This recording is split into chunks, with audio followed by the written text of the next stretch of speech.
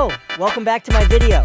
Today I will review the new workshop image that the developer sent. As soon as I saw it, I knew I had to show you guys. So without further ado, let's get started. In this image that the developer sent, it clearly shows the future of Melon Playground's workshop. In this image, a game currency appears.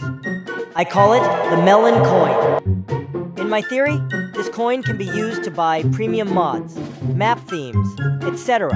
If you look closely, you will see how many people have downloaded it, and under the download button you will see the description and tags. This gives me an idea that the workshop has a search bar. In my theory, again, this thumbs up and star button are like and favorite button. If the mod has many likes and favorites, it will get recommended on the Game Workshop. That's all for today.